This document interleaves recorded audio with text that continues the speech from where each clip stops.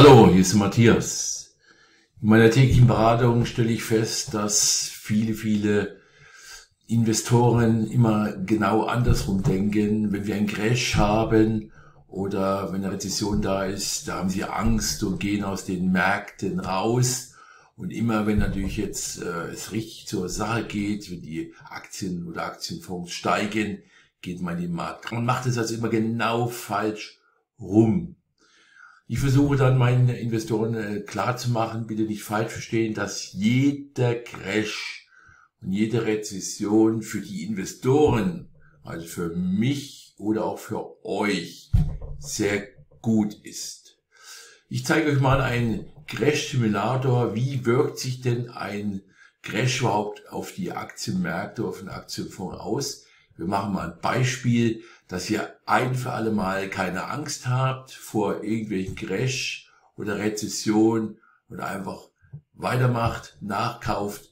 Wie gesagt, ist keine Anlageberatung in dem Sinne jetzt, aber ich zeige euch, wie gesagt, diesen Simulator und wünsche Ihnen damit viel Spaß und vor allen Dingen, wenn es Ihnen gefällt, das Video, bitte abonniert den Kanal unter diesem Video und macht einfach einen Daumen nach oben. Vielen Dank für die Aufmerksamkeit. Bis gleich. Es gibt die Investoren und es gibt die Sparer. Das heißt, die Sparer, die sparen ihr Geld auf dem Sparbuch oder ein Kapitalgeldkonto, das betrachtet man jetzt nicht, oder die Investoren. Ich stelle jetzt mal bei Behauptung auf, bitte nicht falsch verstehen, hier geht es nur um Rendite. Das beweist wir auch gleich, dass jede Rezession, jede Krise, die wir in Deutschland oder auch weltweit haben, zum Beispiel Corona-Krise, die in den letzten Jahren waren, seit 2020, oder Kuba-Krise, das ist schon lange, lange her, oder irgendwelche Krisen, Wirtschaftskrise, Inflationskrise, alles Mögliche, was auf der Welt passiert, bringt uns Sparer äh, negative Einnahmen und immer mehr aber die Investoren partizipieren davon. Ja, wie kommt denn das? Ich zeige euch jetzt mal, was ich meine. Wir rechnen mal ein Beispiel. Wir sparen, nehmen wir mal die 100 Euro an hier im Monat. Das ist ja nur ein Beispiel. Und Laufzeit 30 Jahre oder 20 Jahre, nehmen wir mal diese 30 Jahre. 30-jähriger Mann sagt, er möchte was für seine Altersvorsorge tun. Was tut er? er kommt ja hier ran an das Kapital, aber er möchte ja wissen, was nach 30 Jahren bei einer Rendite, wir gehen mal aus, bei so einer langen Laufzeit können wir ruhig mal, dann machen wir mal 7%. Wir wollen mal äh, nicht so hochgreifen. Das ist also eine Rendite, 100 Euro im Monat sparen, 30 Jahre Laufzeit, 7% Wertentwicklung ist auf jeden Fall seriös und bei so einer langen Laufzeit, aber lassen wir es mal stehen. Und das ist, äh, er zahlt also 36.000 Euro rein, ganz normal, und gewinnt dadurch jetzt äh, 85.000 Euro, dann die 7% auf seine Einzahlung. Ne? Jetzt kommt, er fängt also erst, wir gehen davon aus, er fängt jetzt an. Wir haben jetzt 2022, Ende 2022, und äh, das Ding läuft jetzt zwei Jahre und steigt mal ganz schön, ja mal so, steigt auch mal schön.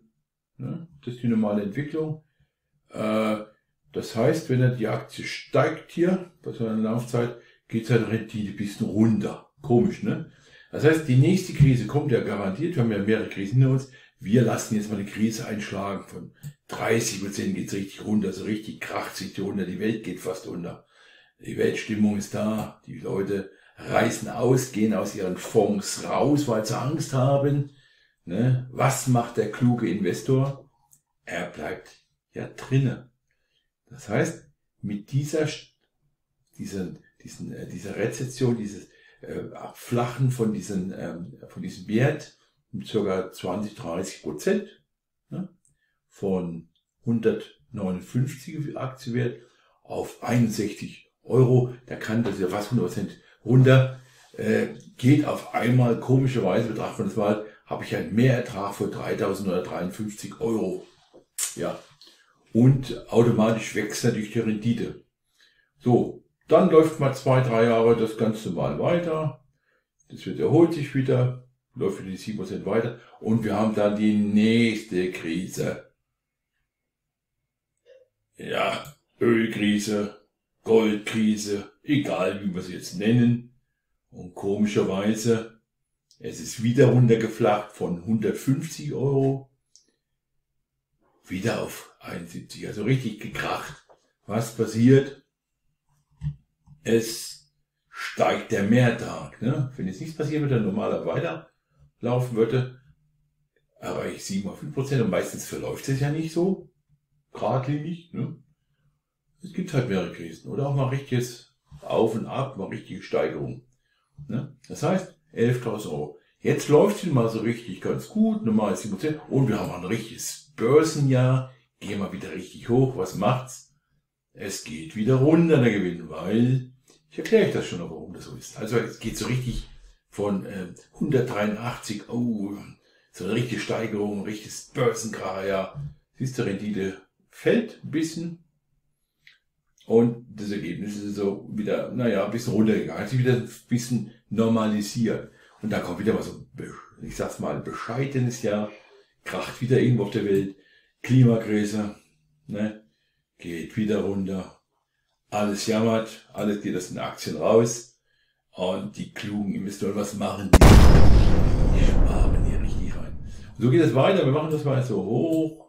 Je mehr Krisen du hast, siehst du, desto besser geht es. Je mehr Steigerung habt, desto mehr geht mein mehr halt mal auch mal runter, runter.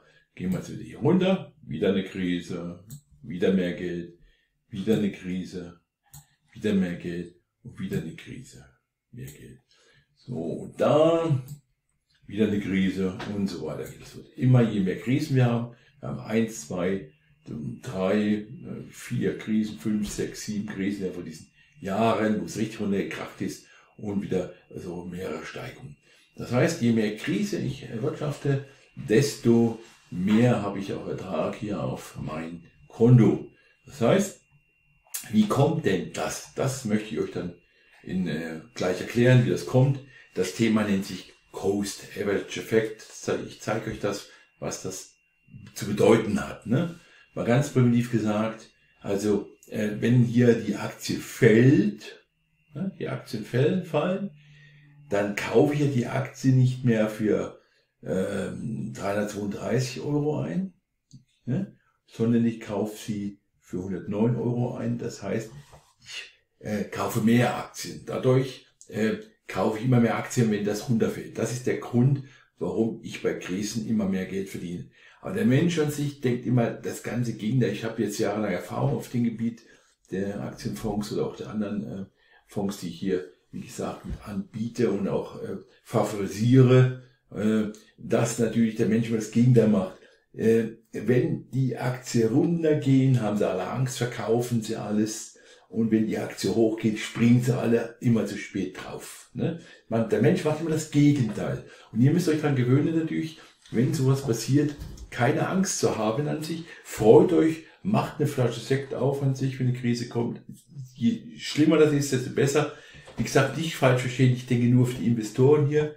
Und jetzt nicht, dass natürlich Krisen auch natürlich äh, grausame Sachen sein können. Das ist ein anderes Thema. Aber wir haben ja das Thema an sich, wie verdienen wir Geld langfristig? Ne? Wie partizipieren wir an den Wirtschaftsnachrichten, an den Wirtschaftsinformationen? Und wie partizipieren wir natürlich hier auch an Krisen?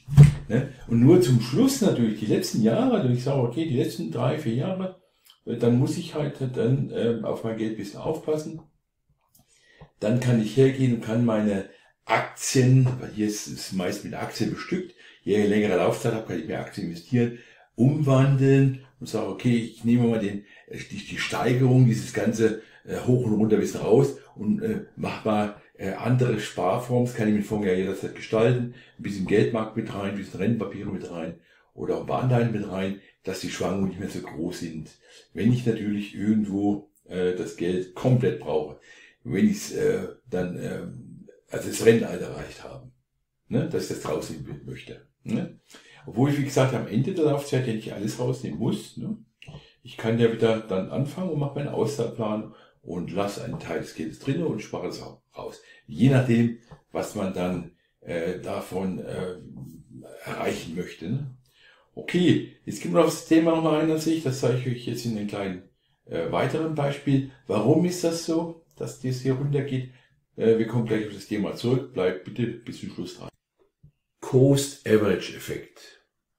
Unter dem Cost Average Effekt versteht man die Tatsache, dass ein Anleger für einen gleichbleibenden Betrag, sagen wir mal 100 Euro, bei fallenden Kosten mehr Anteile und bei steigenden Kosten weniger Anteile kaufen kann.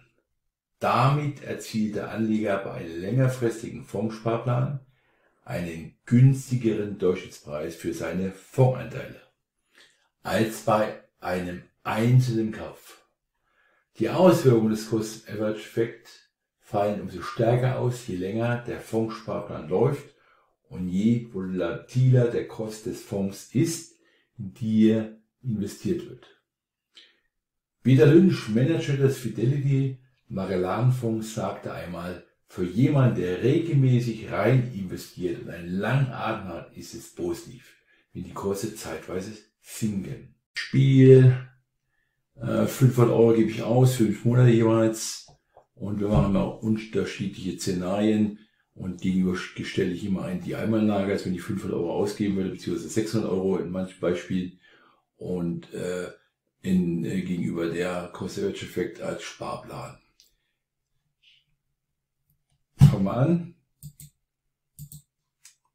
100 Euro, 100 Euro Wert des Anteils bedeutet ein Anteil. Monat später geht er auf 150 Euro der Kurs, kaufe ich natürlich nur 6, 6 Anteile, weil ich ja äh, der Kurs teurer einkaufen muss. Dann geht er zurück auf einen Anteil bei 100 Euro, dann geht ganz mal ganz zurück auf 50 Euro, bekomme ich zwei Anteile und dann geht wieder hoch auf 100 Euro, bekomme ich wieder einen Anteil. Ne? Ich habe also 5,66 Anteile gekauft auf diese 5 Monate, habe dafür 500 Euro ausgegeben, jeweils 500 Euro, Gewinn von 66 Euro. Einmal Kauf bleibt der gleich. Ich kaufe am Anfang für 100 Euro ein, 5 Euro gebe ich aus, 500 Euro, also 5 Anteile bleiben 500 Euro. Und Sparplan macht hier 66 Euro Gewinn. Weiter nächstes Beispiel, die Anderswert geht nach unten, ne, durch irgendwelche Krisen, gehen wir jetzt nicht näher ein, das heißt, ersten Monat 100 Euro, ein Anteil. Zweiten Monat gebe ich 400 Euro aus, durch Krise geht er runter auf 50 Euro, kaufe zwei Anteile. Dritten Anteile geht auf 25 Euro zurück, kaufe jetzt vier Anteile. Im vierten Monat kaufe ich natürlich noch mehr Anteile, acht Anteile, aber der ganz absackt. Im fünften Monat steigt er wieder ein bisschen. Auf 25 kaufe ich vier Anteile. Und im sechsten Monat steigt er 50 Euro, kaufe ich ja zwei Anteile. Insgesamt habe ich 21 Anteile erworben. Ne?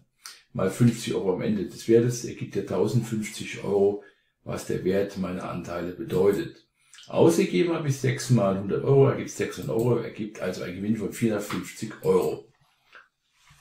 Wenn ich am Anfang den Einmalkauf gemacht habe, also ich hätte 600 Euro ausgegeben, ne, am Anfang, hier unten die 6 Anteile bekommen, die natürlich gefallen sind, auf 50 Euro, 50 Euro hätte ich 50% Verlust gemacht. Beim monatlichen Kauf habe ich schönen Gewinn gemacht. Nächstes Beispiel, steigende Kosten, was hier daraus kommt, 100 Euro im ersten Monat, bekomme ich einen Anteile, er steigt, 100 Euro bekomme ich 0,9 Anteile, er steigt wieder, bekomme ich 0,7, er steigt wieder, bekomme ich 0,6, steigt wieder, für 100 Euro kostet schon 200 Euro der Anteil, kriege ich 0,5 und am Ende ist er bei 250 Euro gelandet, bekomme ich 0,3 Anteile. Wie ist da das Ergebnis? Ich habe insgesamt vier Anteile äh, jetzt am Ende äh, zusammengekauft, mal 250 Euro bekomme ich 1000 Euro als Ergebnis. Investiert habe ich für 600 Euro, mache ich also einen Gewinn von 400 Euro. Ne, wenn ich jetzt mal den Eimerkauf nehme, hätte am Anfang ja 600 Euro ausgegeben, wenn ich 6 Anteile gekauft, wären dann natürlich am Ende äh, 1500 Euro rausgekommen, beziehungsweise 100 Euro. Äh, sechs Anteile mal 250, Entschuldigung, hätte ich 1500 Euro bekommen. Ne, bei sechs Anteile mal 250. Und bei den Cost Average Effekt habe ich halt äh, nur 1000 Euro bekommen, viermal 250 Euro, habe ich also nur 4 Euro Gewinn gemacht. Jetzt machen also beide Gewinne, Cost-Average-Effekt mit Sparplan. Einmal kaufe ich in dem Fall mal etwas höherer Gewinn. Aber es kommt sehr, sehr selten vor, dass das so äh, aussieht. Meistens geht es andersrum. Die Sicherheit liegt im Cost-Average-Effekt, dass ich langfristig immer mehr Gewinne mache, weil ich alle Höhen und Tiefen mitnehme, wie bei einer Einmallache. Ich hoffe, ich konnte euch weiterhelfen und ihr habt es also richtig verstanden. Euer Matthias, bis zum nächsten Mal.